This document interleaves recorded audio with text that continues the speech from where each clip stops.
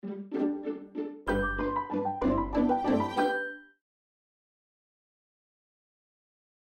never see it coming. I always look the wrong way round. I am Joan As Police Woman, and I am going to attempt to talk about a song that I wrote called Warning Bell. Uh, the basic premise is that uh, I am a romantic, and that what goes along with that is, is uh, blinders when you're in the devotional state, and so you miss some information and and and warning sig- signals about like uh, watch out uh, this person is actually out of their mind or whatever it might be. And uh, so um, it, it, the, the the the premise is if there was a, a warning bell I would know. But all I hear is music soft and low. So I'm trying to like tell myself like take it easy. You can like go slower if you want. Um, you know, and sort of take care of yourself rather than just like get just falling into love. If there was a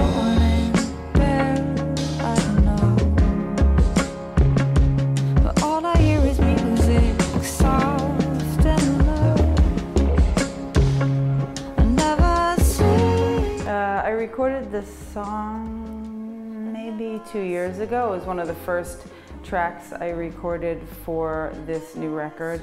You know, I like a combination of very organic sounds and then non-organic sounds together. So it has a really beautiful um, acoustic uh, drum drum kit, but played quite lightly and um, sensitively. Um, and then it has these keyboards on it that feel very like floating. Uh, so, so there's that, and then there's just a lot of space that I left in the song um, for the vocals to come out.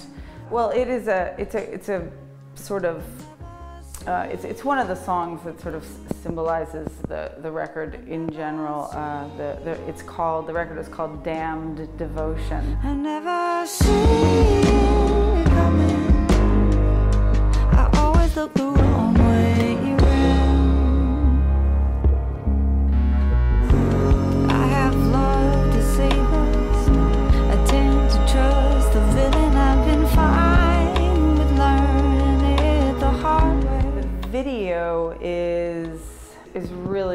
Very simple. I'm in the back of uh, what what seems to be a, a, a taxi.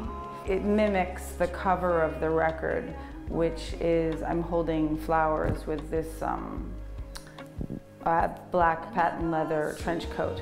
So I get into the cab and I'm holding these flowers and I sing the song and I'm moving through New York, which, yeah, it is darker than the last record, but I'm very comfortable in the dark. Uh, and I don't, um, it's, it's not sad um, per se, it is, it is much more um, nocturnal rather than sad um, because I don't feel sad. Uh, I, I, feel actually um, really okay with the fact that I, there is no warning bell and there never will be in my life.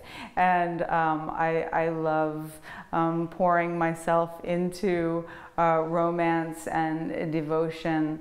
Uh, and um, I'm, I'm fine with dealing with the consequences.